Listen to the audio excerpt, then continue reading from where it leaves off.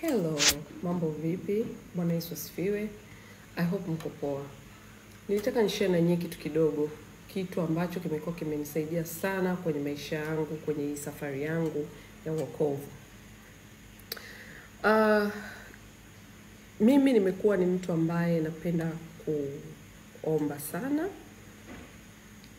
naenda kanisani, lakini natumia muda mwingi kuomba mwenyewe. Nataka kulielezea hili. Watu wengi, Wakristo wengi wanapenda sana miujiza, wanapenda kwenda kanisani sana kuwekewa mikono, lakini nataka nikuambie kitu kimoja leo.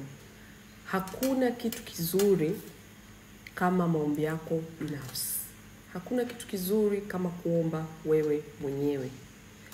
Embu leo badilika, wewe ambaye umezoea kuwekewa mikono sana, leo badilika. Embu chukua muda, kaa karibu na Mungu. Unapotaka kuomba au unapotaka kusali, kuna baadhi ya vitu lazima ukubali kuviacha.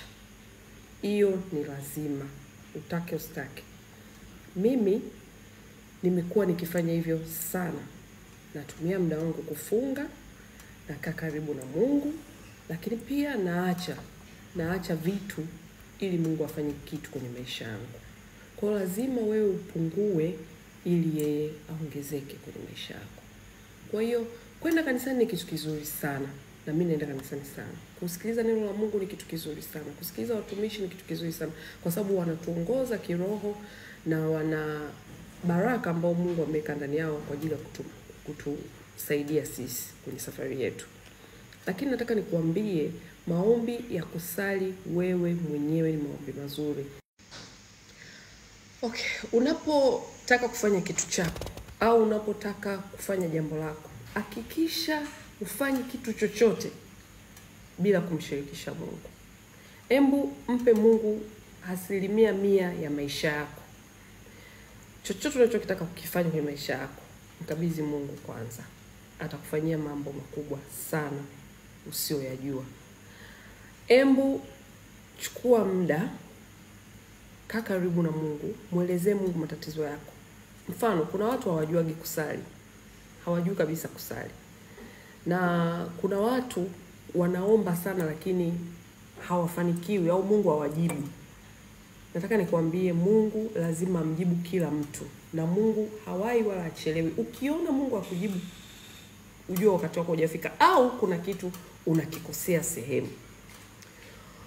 Unapotaka kumweleza Mungu matatizo yako, hakikisha kwanza uko vizuri, uko msafi. Nenda mbele za Mungu, tubu, mwombe Mungu toba.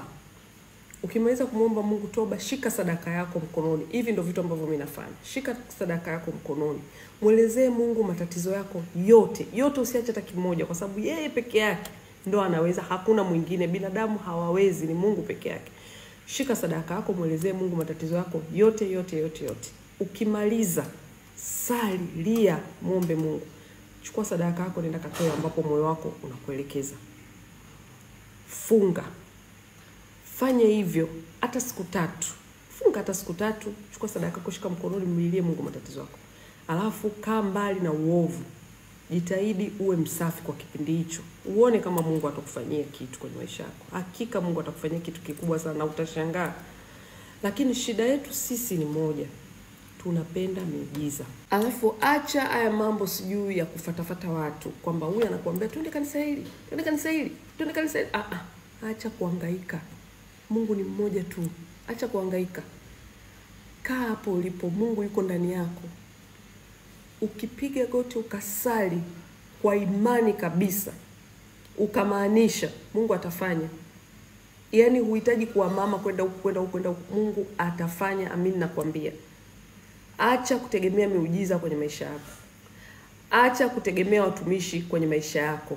Ile ni huduma tu iko ndani yao, Mungu ameweka, lakini mwenye kufanya ni Mungu.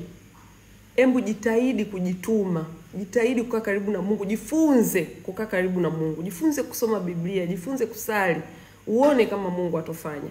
Shida, imani yetu ni ndogo sana sana. Kuna kitu kimoja napenda sana kuhusu Waislamu. Waislamu wakiwa wanafanya biashara zao, hata kama ni duka, ukifika muda wa kwenda kusali, hata uende na gunia la pesa, hawezi kufungua duka kukuuzia kama umefika muda wa kuswali. Ataacha kila kitu, atakimbilia kwa Mungu. Ana imani kali sana. Sasa shida imani, hatuna imani.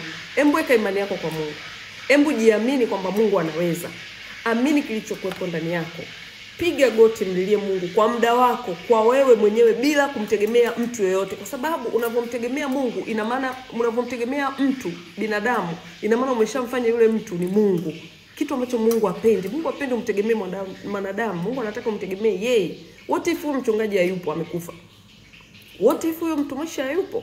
Ina maana ndio maisha yako atakuwa ameishia hapo? Sio kweli. Jifunze kujitegemea, jifunze kusali mwenyewe, jifunze kukaa karibu na Mungu mwenyewe, uone Mungu kuna vitu atakufanyia. Jifunze kumwelezea Mungu. Embu jifunze kumwelezea Mungu matatizo yako, usimwelezee mwanadamu, mwelezee Mungu kwanza matatizo yako.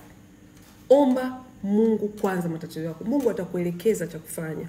Mungu atakuinulia mtu, atakusaidia. Amini na kuambia, acha kumtegemea mwanadamu kwenye maisha yako, mtegemee Mungu peke yake, yeye ndo anaweza. Hakika ukifanya haya, kuna kitu kitabadilika kwenye maisha yako. Siongei kitu cha cha kuwaza tu au cha nini, ni kitu ambacho mimi kwenye maisha yangu kinanitokea sana na kinafanya kazi sana kwenye maisha yangu. Nimemkabidhi Mungu maisha yangu, lakini nasali mimi mwenyewe sana, namlilia Mungu mimi mwenyewe sana, matatizo yangu namwelezea Mungu sana. Mwamini Mungu peke yake. Acha, sikwambii uache kwenda kanisani, nenda kanisani, msikilize mtumishi, fatisha maneno ya mtumishi. Akuongoze katika safari yako ya imani, lakini acha kumtegemea mtumishi, mtegemee Mungu na mwamini Mungu peke yake, kwa sababu mwanadamu hufa, lakini Mungu huishi milele. Mwenyezi Mungu awabariki sana na wapenda sana.